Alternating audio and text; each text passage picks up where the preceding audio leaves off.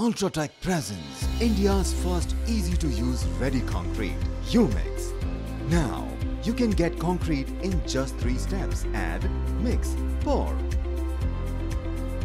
Place the bag on a flat, even surface.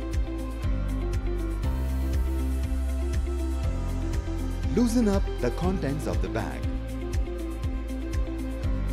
Add. Unscrew the cap and add 2 liters of potable water. Ensure the cap is shut tight. Mix. Lay the bag down on its back. Turn the bag from corner to corner and from side to side. Knead the center of the bag. Press and move the contents thoroughly to get the water fully mixed with the concrete. Pour. Place the bag straight up and give it a good shake.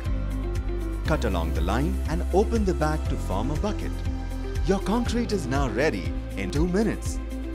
You can use it straight from the bag or you could just pour it out on a tray. Umix is ideal for minor concrete repairs like minor structural repairs, home renovation work, society and building compound repairs, road and bridge repairs and a lot more.